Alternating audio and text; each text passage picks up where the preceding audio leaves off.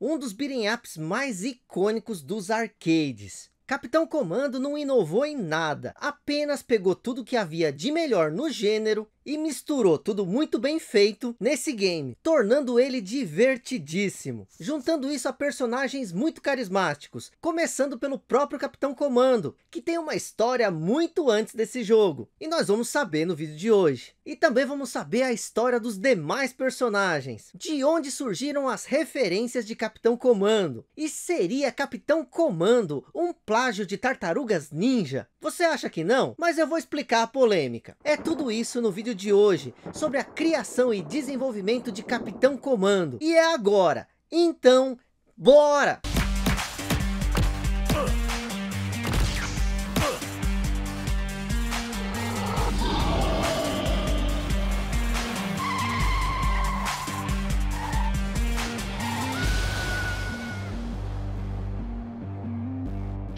Desenvolvimento de Captain Commando sem dúvida, Captain Commando tem um lugar especial na memória dos frequentadores de fliperama nos anos 90. E investigar o desenvolvimento do jogo revela surpresas para muitos de seus jogadores. A começar pelo personagem principal. Ele é bem mais antigo do que parece. O Captain Commando antes do game que leva o seu nome. O personagem Captain Comando, ou Capitão Comando mesmo, é assim que eu vou chamar ele, sempre chamei desse jeito, já existia bem antes de figurar em qualquer outro jogo. Suas primeiras aparições foram em caixas e manuais de games. Estávamos na segunda metade dos anos 80. O Famicom, videogame de terceira geração da Nintendo, chegava nos Estados Unidos sob o nome de NES, Nintendo Entertainment System, e reconquistava jogadores para consoles domésticos, no mercado ainda abalado pela recente crise da Atari. A Capcom produzia jogos para o console e os apresentava no mercado americano como a série Challenger, que eram apenas os jogos da Capcom para o NES mesmo. E assim como a Sega e Nintendo, a desenvolvedora de Mega Man também pensou na ideia de criar um mascote, cuja imagem se associasse à companhia. Porém, não usou nenhum personagem de seus jogos para isso, ao contrário de um Mario, por exemplo, que primeiro figurou em jogos para a partir da sua popularidade se tornar o mascote da Nintendo. Capitão Comando não foi criado como personagem de qualquer jogo, mas diretamente como porta-voz da Capcom nos Estados Unidos. O nome Captain Comando não era novo. Na década de 40, houve um herói de mesmo nome, que figurou no quadrinho Captain Commando and the Boy Soldiers, da Arte Comics. Mas provavelmente o nome desse antigo personagem é mais coincidência que inspiração. A Capcom pensou pensou nesse nome para o seu porta-voz, pois as sílabas iniciais de Captain Comando formavam o nome da empresa. Assim, o americano que comprasse Ghost Goblins, Mega Man ou qualquer outro lançamento da Capcom para NES, veria no verso da capa do jogo uma espécie de guerreiro espacial, cujos cabelos prateados esvoaçavam, enquanto segurava duas pistolas futuristas à altura do peito, onde repousavam dois medalhões com a letra C, uma em entre aspas, mensagem especial do Capitão Comando. Também aparecia nos manuais dos jogos, parabenizando os jogadores pela compra, contando até com uma assinatura estilizada do personagem. E essa foi a primeira aparição do Capitão Comando, e como porta-voz e apresentador da série Challenger. Em 1989, houve uma reformulação do personagem, que o deixou um pouco mais próximo do Capitão Comando que conheceríamos futuramente. Agora, ele posava num traje de piloto piloto, capacete no braço, uma nave ao fundo e um mascote alienígena no ombro. Tudo isso sob o logo da Capcom. Nessa pose imponente, ele continuava aparecendo nas capas e manuais do mesmo modo que antes. O personagem até figurou num jogo da época. Não, não, só que não. Não foi assim não. O que aconteceu foi o seguinte. O jogo Section Z era um shooter lançado para os arcades em 1985, que ganhou um port para Famicom. E a versão americana desse port port de 1987 trazia em seu manual, além da tradicional mensagem do Capitão Comando, a informação de que ele era o personagem principal do jogo. Mas não era, o jogo não foi pensado assim. Provavelmente isso só foi dito no manual para associar o personagem, já conhecido nos Estados Unidos, ao jogo, na esperança de garantir alguma popularidade extra mesmo. Ainda demoraria até que o Capitão Comando tivesse um game para chamar de seu. E para entender as motivações para o desenvolvimento desse jogo, precisamos dar uma olhada no que rolava num gênero específico de games da época, os bons e velhos brigas de rua. Capitão Comando e os beating ups. O gênero briga de rua tem seus precursores em jogos como Kung Fu Master, onde avançávamos no cenário enquanto metíamos a porrada em quem aparecesse na frente. Porém, foi com Renegade, lançado em 1986, e Double Dragon no ano seguinte, que o gênero deslanchou e ganhou as bases que o tornariam reconhecível. Muitos beat'em ups surgiram nos arcades, e quase sempre eram lucrativos. A fórmula de juntar um amigo para avançar dando porrada em todos que aparecessem, resultava em diversão na grande maioria das vezes. A Capcom então resolveu fazer o seu briga de rua e lançar um tal de Final Fight em 1989. O jogo usou o poder da nova placa CPS para remodelar o gênero. Era cheio de ação, fluidez e golpes especiais. Tinha sprites grandes, vozes digitalizadas e uma boa trilha sonora, além de inaugurar mais alguns clichês do gênero, como recuperar a vida comendo coisas que achamos no lixo, ou um frango numa caixa. Final Fight colocou o padrão de qualidade dos brigas de rua num novo patamar, entrando para a história não só do gênero, mas dos games em geral. Mas Final Fight não reinou sozinho, coube a Konami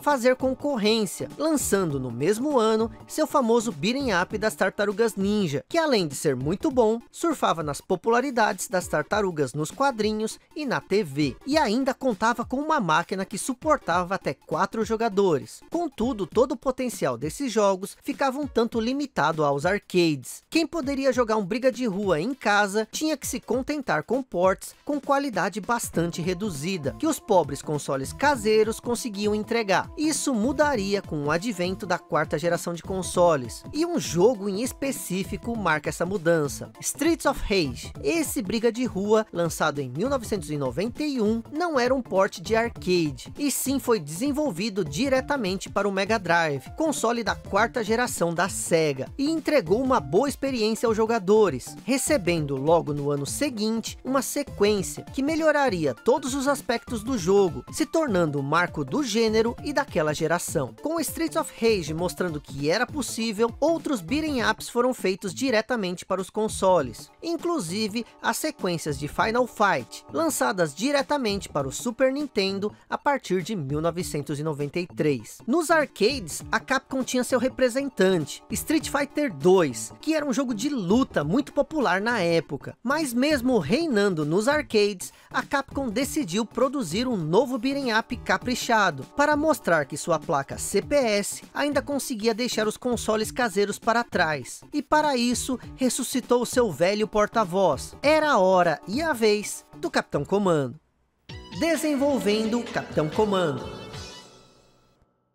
Para o seu próprio jogo, o visual do capitão seria reformulado mais uma vez. Com cabelos loiros espetados, ele receberia óculos, armadura e botas, que o deixavam ao gosto da estética dos heróis da época. Já as suas luvas lançavam rajadas elétricas, que era o ataque especial do personagem. A Capcom desenvolveu o jogo, tentando juntar tudo que tinha dado certo em outros beat'em ups. Contudo, Teenage Mutant Ninja Turtles da Konami e o seu próprio Final Fight, que eram a base do gameplay de Capitão Comando. Toda a mecânica do jogo foi trabalhada sobre o que já tinha sido feito em Final Fight. As novidades ficavam por conta de armas capazes de lançar projéteis, pré-configurando o que aconteceria em Cadillac em Dinosaurs, jogo cujo desenvolvimento já investigamos aqui no canal. E também havia robôs, em que seu personagem poderia entrar e controlar, sendo eles de três tipos, os que davam soco, o que expeliam chamas e os que congelavam os inimigos. Mas a ligação entre Capitão Comando e Final Fight não se limitava ao gameplay e aos sprites bem definidos. Capitão Comando se passa não só no mesmo universo, como na mesma cidade que Final Fight, Metro City. Agora vamos pensar, se Street Fighter e Final Fight fazem parte do mesmo universo, como sabemos desde a série Alpha, então quer dizer que Capitão Comando, junto com esses dois, ajuda a formar um grande universo ficcional da Capcom. Mas como se arranja isso? A resposta é, numa linha do tempo. Capitão Comando se passa numa Metro City do futuro, onde inclusive podemos encontrar bustos do antigo prefeito Hagar. E aqui vamos abrir um parênteses. O jogo se passa em 2026, ano em que naquela época era visto como um futuro bem distante. Eu acho que a gente tá ficando velho, né? Como sabemos que os eventos de Final Fight rolam antes dos de Street Fighter, então ficamos com o Capitão Comando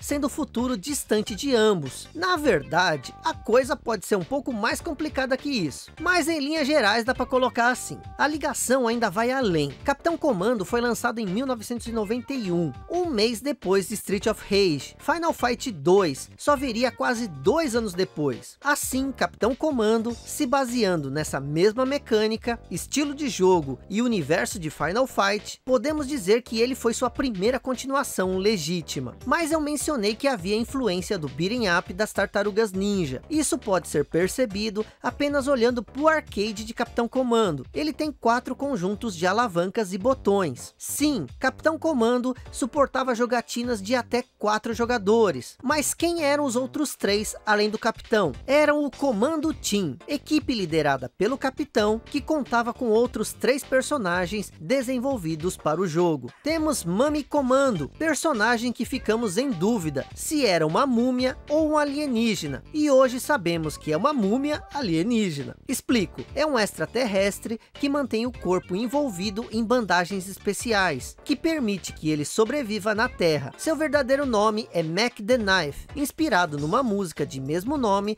do cantor Bob Darin. Mas no Japão ele se chama Janet, uma referência à genética.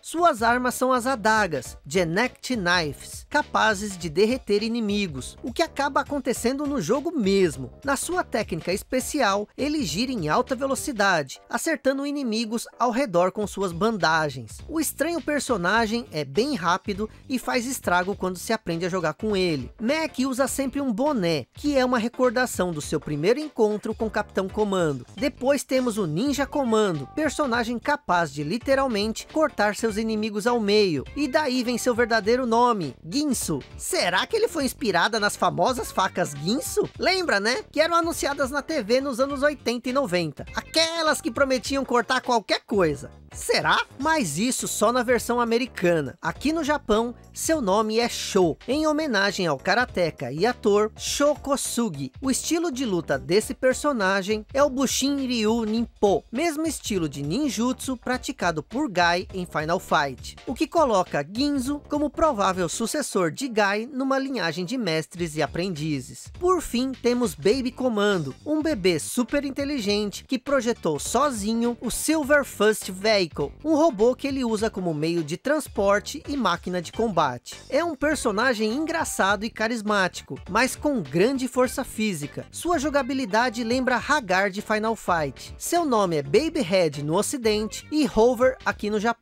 E a chupeta fofinha que ele usa o tempo todo, na verdade, é outra de suas invenções. A Talking Machine, aparelho que lhe permite falar mais de 3 milhões de línguas em todo o universo. Com esse time, vamos salvar Metro City de uma ameaça alienígena. Avançamos num cenário futurista, dividido em nove fases, começando na Metro City de 2026, onde vemos uma vitrine com televisores 3D de tubo. Estranho como imaginávamos o futuro em 1991. E enfrentamos vários inimigos, que vão de bandidos de rua a agentes uniformizados do grupo super criminal. Eles ficam agachados fumando, enquanto nos aguardam para meter a porrada. Daí progredimos em cenários diversos, que trazem muitos clichês dos beating ups, como a fase do elevador, por exemplo. Porém, também é clara a influência das tartarugas ninja no level design. Temos uma fase onde usamos pranchas, e inclusive uma fase no esgoto, claramente inspirada no que vemos no sucesso da Konami. Por fim, a coisa vai ficando mais futurística com os laboratórios. Cientistas loucos que transformam homens em monstros. Túneis transparentes de onde vemos cidades em redomas. E acabamos indo ao espaço, chegando no planeta Calisto, onde provavelmente por preguiça dos desenvolvedores, os inimigos são os mesmos que enfrentamos na Terra. Isso até chegarmos ao boss final, o líder alienígena Ele é um chefe imponente, num cenário imponente, com uma batalha digna de boss final da época. A curiosidade é que aqui no Japão, seu nome é Genocide, genocida mesmo, mas esse nome acabou sendo censurado na versão ocidental. Ao fim, vemos as multidões em Metro City, saudando o comando Team na TV, inclusive o prefeito da cidade, um bigodudo corpulento, que lembra muito o velho Mike Hagar, mas não temos como saber se é ele mesmo no novo mandato futuro, ou apenas um outro portador de bigode. O legado de Capitão Comando o jogo teve um merecido sucesso, conseguindo rivalizar com Street Fighter 3. E não era para menos, o game era e continua sendo muito bom. E sendo assim, era de se esperar um port para consoles. Mas ele demorou um pouco, só saiu em 1995, na forma de um cartucho para Super Nintendo. A qualidade era bem menor que a do arcade. Muitos acham que o Super Nintendo poderia fazer melhor do que foi entregado naquele port. E provavelmente eles têm razão. Houve também diversas censuras já esperadas numa versão para um console da Nintendo, mas ele divertiu muita gente, sobretudo quem não conhecia o arcade ainda. Haveria ainda versões para Sega CD e 64DD, aquele periférico do Nintendo 64 que só saiu aqui no Japão, mas ambas as versões foram canceladas antes de ver a luz do dia. O próximo port viria no Playstation, e era bom. A qualidade do console conseguiu deixar o jogo mais próximo do arcade, e até rearranjaram a trilha sonora. Mas adivinhem, esse porte só ficou aqui no Japão também. A partir daí, os personagens apareceriam em vários outros games da Capcom, seja em cenários como os de Ken do Street Fighter Zero 2, ou jogáveis, como na série Marvel vs Capcom. O jogo em si figuraria em coletâneas para vários consoles, incluindo o Capcom Beating Up Bundle, que contava com uma propaganda em que o Capitão Comando figurava mais uma vez como porta-voz, mas dessa vez em live action. Fora dos videogames, existia um mangá de Capitão Comando, que teve duas edições e trouxe uma revelação, o seu verdadeiro nome, Mars Carlisle. Com isso em mente, você pode entender a grande referência que aparece no remake de Resident Evil 3, onde podemos encontrar um pôster de um filme chamado Command Team Mars Carlisle of Dutch. Além do mangá, um quadrinho ocidental foi planejado para promover o jogo nos Estados Unidos, mas acabou sendo cancelado. Tudo que temos dele são cinco páginas, com balões de fala vazios, que aparecem na Game Mock volume 17, Capcom Illustrations. Se eu fosse citar todas as aparições e referências a Capitão Comando, esse vídeo levaria uma hora, mas para finalizar, vou citar algumas na série Street Fighter. A primeira é a personagem Crimson Viper, de Street Fighter 4. Seus golpes e aparelhos lembram muitos de de Capitão Comando. Talvez ela tenha sido inspirada nele, e os próprios equipamentos do Capitão sejam versões futuras dos gadgets da moça. Já no Street Fighter V, o personagem Nash tem uma roupa do Capitão Comando, disponibilizada numa DLC. E por fim, uma referência sutil em Street Fighter 3 New Generation. Nos arquivos da Shadalu sobre Yuta Homura, amigo da Ibuki, lemos que ele é capaz de zerar o arcade Capitão Comando usando o Mac The Knife com apenas um crédito. Como assim? Seria só uma piada interna da Capcom ou Capitão Comando não seria o cenário futuro, mas sim uma ficção dentro da ficção? O que, que você acha? Complicado demais, né? O que queremos mesmo é que a Capcom se lembre do seu antigo porta-voz e faça ele reaparecer num novo jogo. Quem sabe um remake? Será que rola? Não sei, mas hoje descobrimos curiosidades do desenvolvimento de um personagem e de um jogo clássico da Capcom e dos beating ups. Capitão Comando. Eu conheci Capitão Comando nos fliperamas. E eu vou falar para vocês que eu fiquei apaixonado. Gostava muito daquelas animações em que o personagem conseguia matar os inimigos. Às vezes o personagem derretia, às vezes era cortado ao meio. Às vezes virava uma múmia, tudo dependia do personagem que você estava jogando. E é lógico que eu via muitas semelhanças com os jogos de beating up da época. Mas eu não via como cópia não, eu via como uma homenagem mesmo. Mas eu quero saber de você, qual a sua lembrança com Capitão Comando? Eu tô muito curioso, me fala aí nos comentários. Quase que eu ia me esquecendo de falar um negócio. Quando saiu o cartucho de Capitão Comando para Super Nintendo, eu tive uma decepção muito grande. O jogo era ok, era muito divertido, principalmente quando você tinha um amigo para jogar junto. Só que exatamente o que eu mais curtia no jogo de fliperama, não tinha no jogo de Super NES que era justamente essas finalizações dos personagens que a gente jogava. Agora sim, eu quero saber a sua história. Me fala aí nos comentários quais as suas lembranças com Capitão Comando. E se você quiser ganhar um coração meu, escreve aqui nos comentários qual personagem de Capitão Comando que você mais gostava de jogar. Ah, e não se esquece, me segue no Twitter e no Instagram, arroba Vitorisui.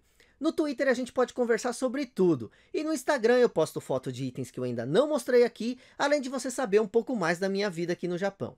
Então me segue lá, arroba Vitorisui, no Instagram e no Twitter. Eu sou o Isui, obrigado a você que viu o vídeo até aqui e até mais.